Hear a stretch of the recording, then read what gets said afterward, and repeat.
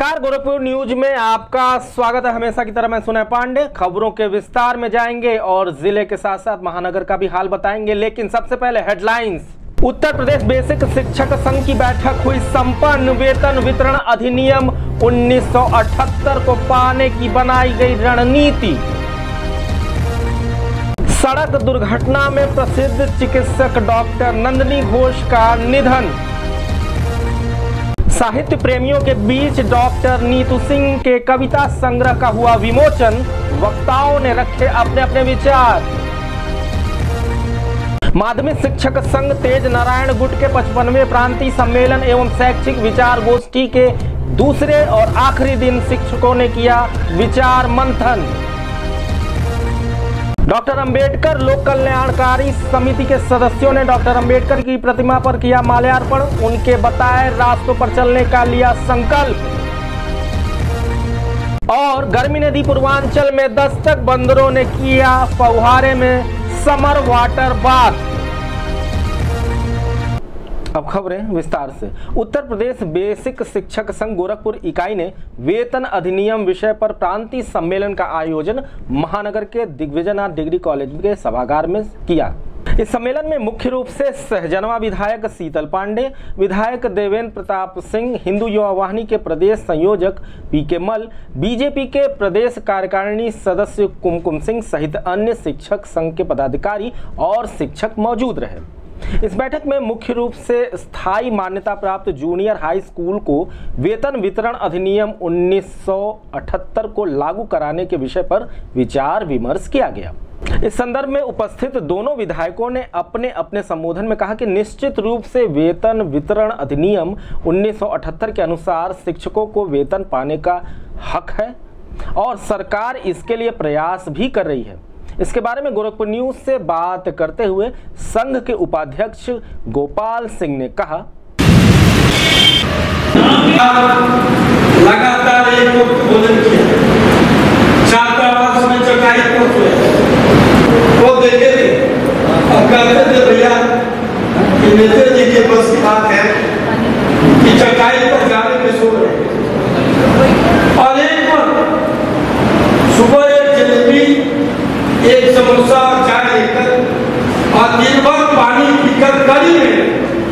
और शाम को भी जब भोजन करने आता था तो कॉलेज सहयोगियों को खिलाता था।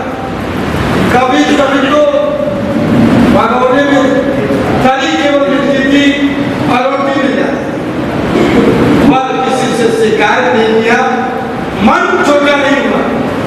मन पड़ा था कि हमें लड़ना है और छात्रों का हित हमारे सर्वोपरि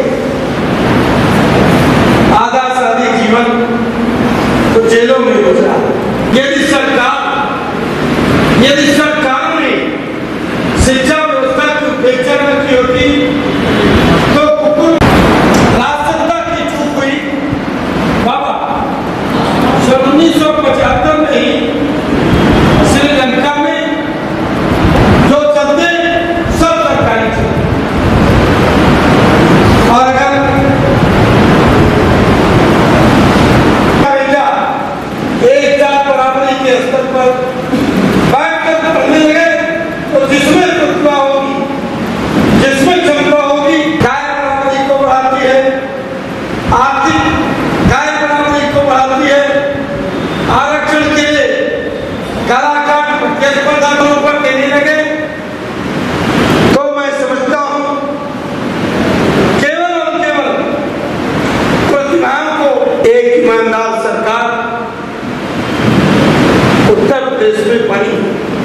ईमानदारी का बयान ले कानून बनता था इक्यावा तहसीलदार नायब तहसीलदार बनता था इक्यावा इतनी बड़ी लड़ाई लड़ा और मुझे पूंजी बाज़ार के, मुझे के साथ लड़ना पड़ा।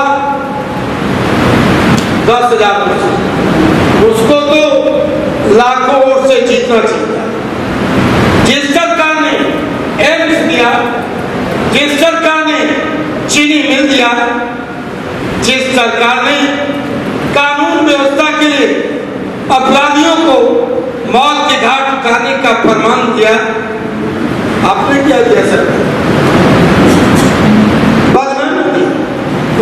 की।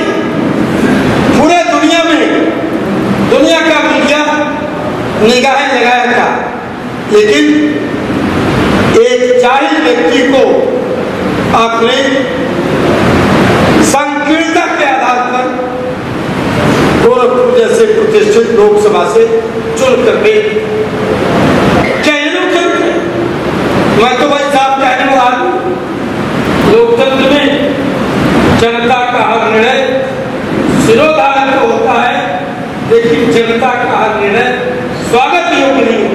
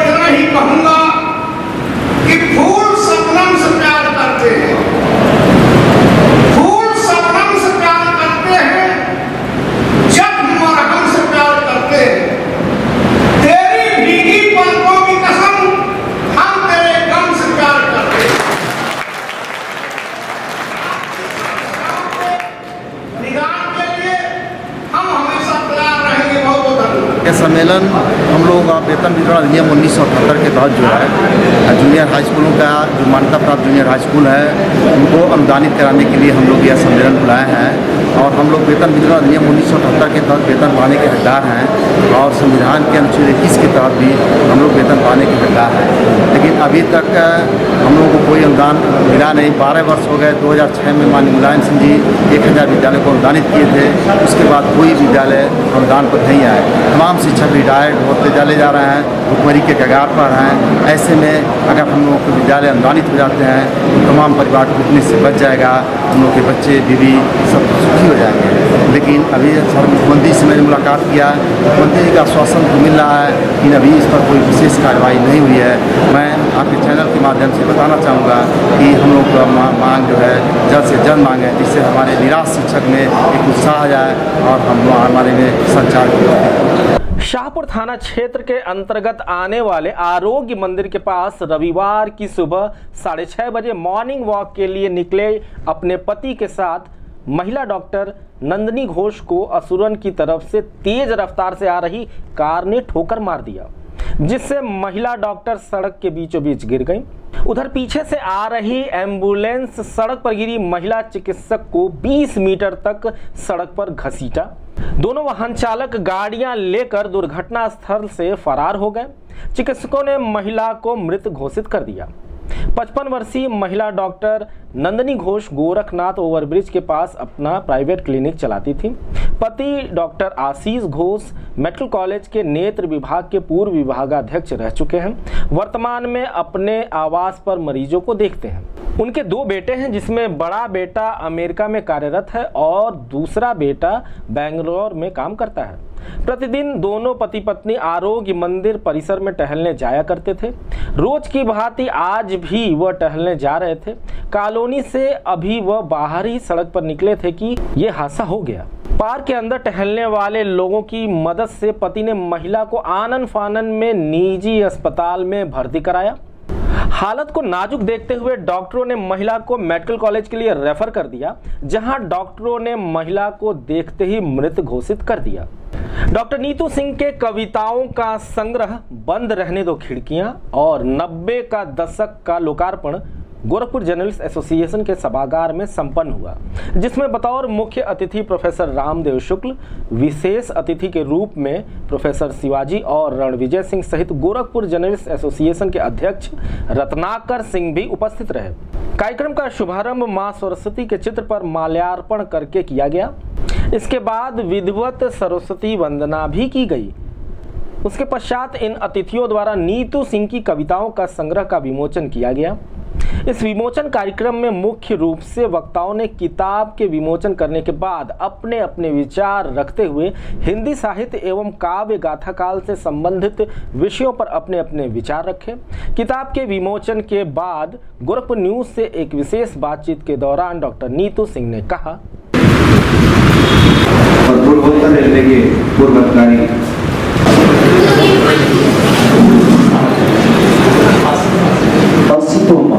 अधिकारी Asitoma Sadgaya राम की मिश्रा पीजी कॉलेज कैमेरिया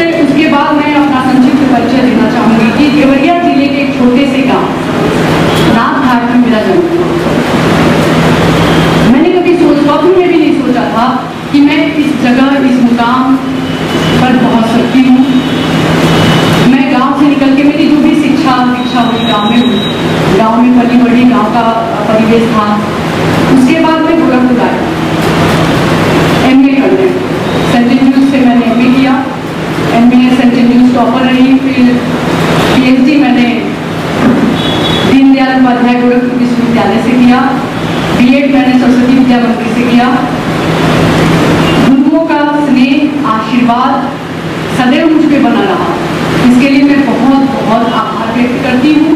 ऐसा नहीं है कि शब्दों से कह के पीछा छुड़ाया जा सकता है कि मैं शब्द से कहती और पीछा छुड़ साहित्यिक जगत में पदार्पण प्रोफेसर केदार नाथ सिंह जी। यह वो है बीज है या वह वृक्ष है जिनके छांव तले बैठकर मैंने साहित्य लिखना शुरू किया आगे जी नागार्जुन सर्वेश्वर सक्सेना मुक्तिपुर सुदामा पांडे रघुवी सहाय आदि ऐसे साहित्यकार रहे हैं जिनसे मुझे हमेशा सदैव प्रेरणा मिलती है। अगे की एक पंक्ति है, यह दीप अकेला स्नेह भरा, है गर्व भरा माता पर इसको भी पंक्ति दो। लेकिन मेरे पिताजी कहते थे, खैर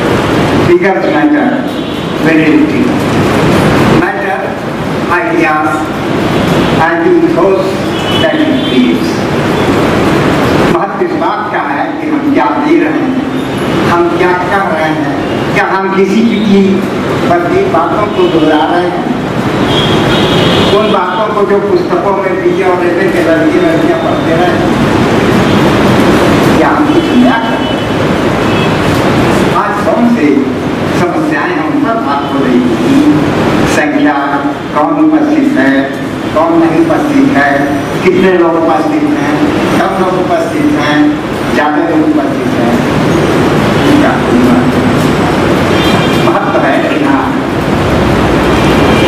क्या कहा महत्व है क्या कहा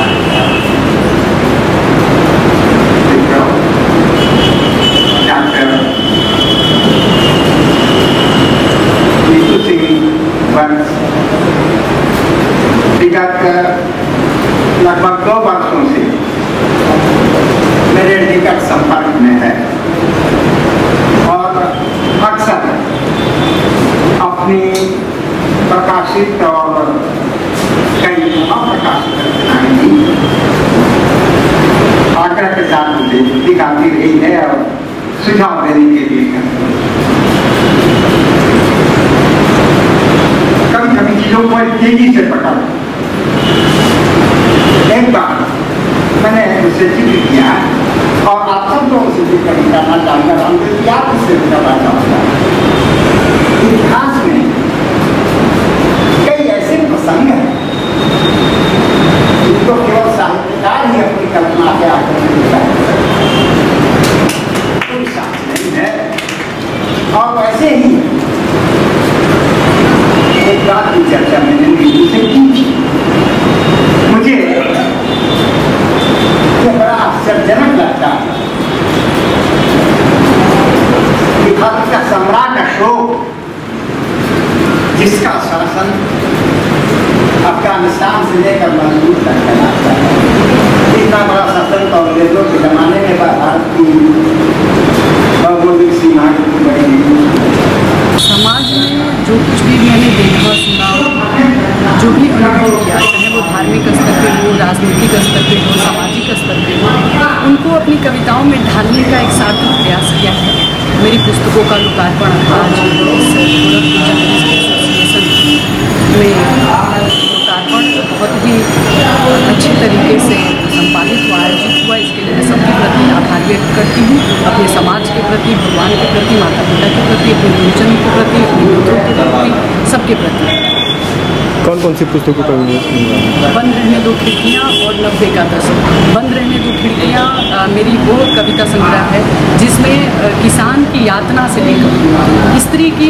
तमाम अनछुए पक्ष को मैंने उभारने का एक सार्थक प्रयास किया है।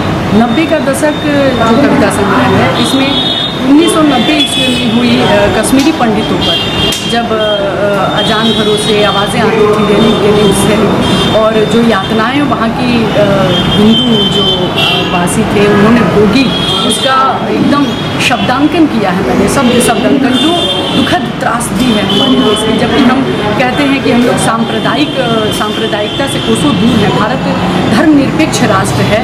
ऐसे राष्ट्र में रहते हुए जब हम सारी ये सारी चीज़ें देखते हैं तो निक, निक, लिखने के लिए मन आह्लादित होता है और फिर मेरी लेखनी उस पर चल पड़ती है निकल पड़ती है उस पर मैंने एक कविता लिखा हुआ है। ब्रेक में जाने से पहले चलिए दोबारा नज़र डाल लेते हैं आज की प्रमुख हेडलाइंस पर उत्तर प्रदेश बेसिक शिक्षक संघ की बैठक हुई संपन्न वेतन वितरण अधिनियम 1978 को पाने की बनाई गई रणनीति सड़क दुर्घटना में प्रसिद्ध चिकित्सक डॉक्टर नंदनी घोष का निधन। साहित्य प्रेमियों के बीच डॉक्टर नीतू सिंह के कविता संग्रह का हुआ विमोचन। वक्ताओं ने रखे अपने अपने विचार। माध्यमिक शिक्षक संघ तेज नारायण गुट के पचपनवे प्रांतीय सम्मेलन एवं शैक्षिक विचार गोष्ठी के दूसरे और आखिरी दिन शिक्षकों ने किया विचार मंथन। डॉक्टर अंबेडकर लोक कल्याणकारी समिति के सदस्यों ने डॉक्टर अंबेडकर की प्रतिमा पर किया माल्यार्पण। उनके बताए रास्तों पर चलने का लिया संकल्प। और गर्मी नदी पूर्वांचल में दस्तक बंदरों ने किया फौहारे में समर वाटर बाथ।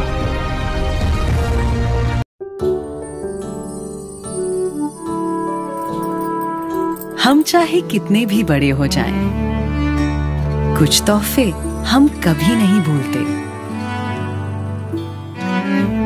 जैसे घर आई नन्ही खुशी के लिए दादा दादी का दुलार। दिवाली पर मिठाई के डब्बे में छुपा मम्मी के लिए पापा का प्यार। वो दिल से पूछा गया एक सवाल और उसके जवाब की तैयारी में शुभ आरंभ का आशीर्वाद। ऐश प्रा छिहत्तर सालों से परंपरा विश्वास की।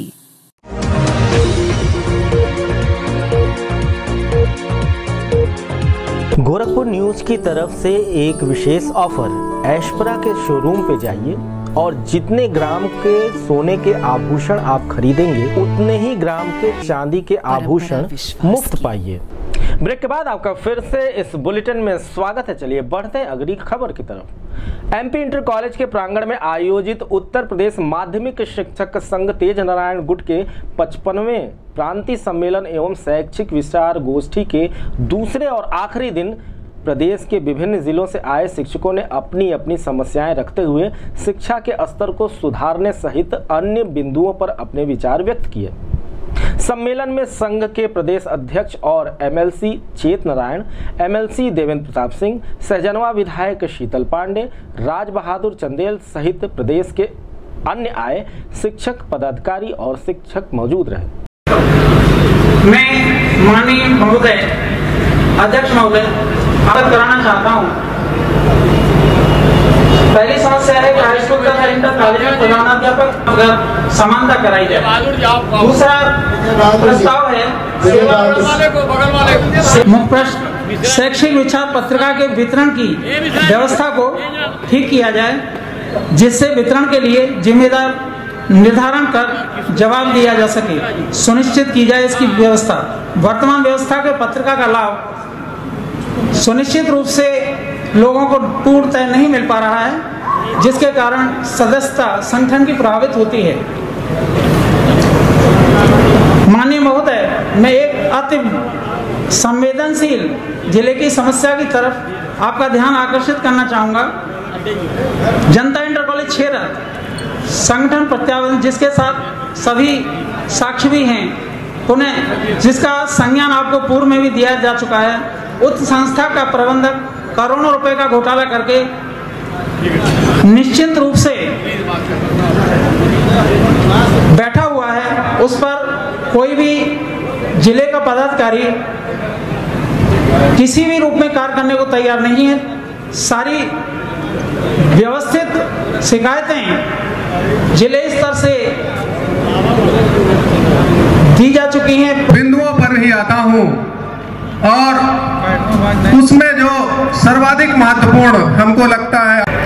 एक बहुत विकराल स्थिति खड़ी हुई है जनपदों के सामने कि एक तरफ़ यह सरकार तदर शिक्षकों के विनियमितीकरण के लिए, उनका विनियमितीकरण करने की आपसे हामी भरती है या आपसे अपनी सहमति बनाती है। और दूसरी तरफ़ उनके अध्याचन जिला विद्यालय निरीक्षक के कार्यालयों में मंगाने के लिए दबाव बनाया जाता है। मेरा एक निवेदन है कि इस प्रस्ताव के साथ यह भी जोड़ा जाए, उन्नाव जनपद इतनी मांग करता है आपसे कि जो भी हमारे शिक्षक तदर शिक्षक रिक्त पदों के प्रति नियुक्त किए गए हैं और राजकोष से वेतन पा रहे हैं, उन तदर शिक्षकों के अध्याचन कदापि न मंगाए जाए, सिर्फ़ उनके मंगाए जाए, जो इन रिक्त पदों के प्रति न हो या राजकोष से वेतन न प्राप्त कर रहे हो। यह हमारी मांग है उन्नाव जनपद की। इसलिए मैं चाहता हूँ कि इस प्रस्ताव में इतना संशोधन हमारा स्वीकार किया जाए। मैं सदन के सामने इस बात को रख रहा हूँ। पदाधिकारियों का अध्यापकों का कार्य हम कराते हैं। इसके लिए हमारा संगठन गवाह है हमारा जनपद गवाह है। किसी भी अध्यापक को जन, हमारे संगठन से जुड़े हुए किसी अध्यापक को एक भी पैसा नहीं देना होता है। हमारे जनपद में तदर्थ अध्यापकों की संख्या अच्छी खासी है। मैं इस संबंध में ज़रूर कहना चाहूँगा, तदर्थ अध्यापकों के विनतीकरण के लिए प्रयास तो आपने लगातार संघर्ष किया है, संघर्ष के हम लोग गवा भी रहे हैं, लेकिन हम इतना ज़रूर चाहते हैं कि जो शिक्षक साथी हमारे विभिन्न पदों पर कार्यरत हैं, स्वीकृत पदों पर कार्यरत हैं और राजकोषीय वेतन प्राप्त कर रहे हैं उनके पदों पर अध्याचन की मांग इसमें की जा रही है। हम चाहते हैं कि ऐसे पदों पर अध्याचन ना भेजा जाए। इसके लिए आप लोग प्रदेश स्तर पर पहल करें। डॉक्टर भीमराव अंबेडकर लोक कल्याण समिति के तत्वावधान में भारत रत्न डॉक्टर भीमराव अंबेडकर के 127वीं जयंती मनाई गई और बाबा साहब के प्रतिमा पर माल्यार्पण कर उन्हें श्रद्धा सुमन भी अर्पित किया गया। उसके बाद उनके द्वारा बताए गए रास्ते पर चलने का संकल्प भी लिया गया। इस अवसर पर पूर्वोत्तर रेलवे के मुख्य सिग्नल एवं दूर संचार इंजीनियर बी आर विल्बी समिति के अध्यक्ष K S Azad doctor Rakesh Kumar Bharti Arun Kumar सहित अन्य पदाधिकारी और सदस्यगण मौजूद रहे। गोरखपुर न्यूज़ से बात करते हुए कार्यक्रम के मुख्य अतिथि बी आर विल्पी ने बताया अरे उनको भी बुला लीजिए उनको भी बुला लीजिए उनको भी। चाहेंगे नहीं तो होगा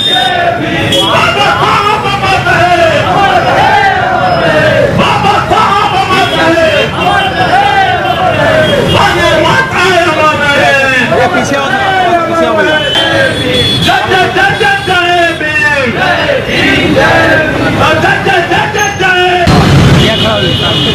सामने खड़े हो गए और आप लोग पीछे।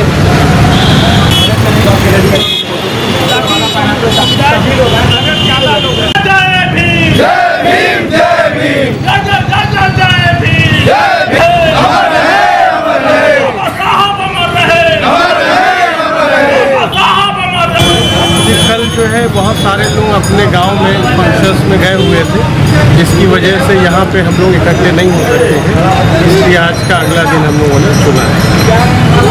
जैसा कि भीमराव अंबेडकर साहब ने संदेश सबको दिया है, वही संदेश हम लोग दोहराना चाहेंगे। संगठित रहिए, संघर्ष शिक्षित रहिए। आने वाले दिनों में गर्मी किस तरह से पड़ने वाली है, इसका एहसास हम इंसानों को भले ही थोड़ी देर में हो, लेकिन इन बंदरों को ज़रूर हो चुका है। ऐसा ही एक नज़ारा रविवार को नगर निगम में स्थित रानी लक्ष्मीबाई पार्क में देखने को मिला, जहाँ फव्वारे में बंदरों के झुंड ने गर्मी से निजात पाने के लिए छलांग लगाई और अटखेलियाँ करते हुए गर्मी से राहत भी पाई।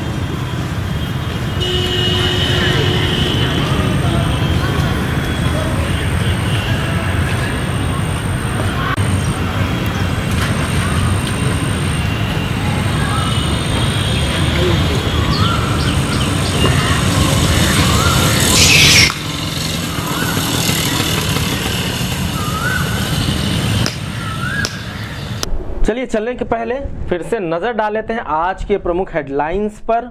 उत्तर प्रदेश बेसिक शिक्षक संघ की बैठक हुई संपन्न वेतन वितरण अधिनियम 1978 को पाने की बनाई गई रणनीति।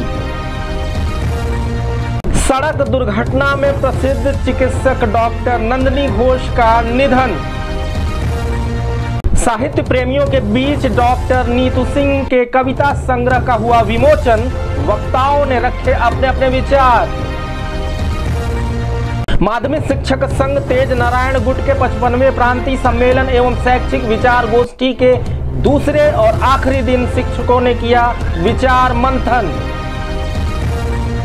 डॉक्टर अंबेडकर लोक कल्याणकारी समिति के सदस्यों ने डॉक्टर अंबेडकर की प्रतिमा पर किया माल्यार्पण। उनके बताए रास्तों पर चलने का लिया संकल्प। और गर्मी नदी पूर्वांचल में दस्तक बंदरों ने किया फौहारे में समर वाटर बाथ। इस बुलेटिन में बस इतना ही तो अगले बुलेटिन तक के लिए दीजिए हमें इजाज़त और देखते रहिए Gorakhpur news. News before headlines, नमस्कार।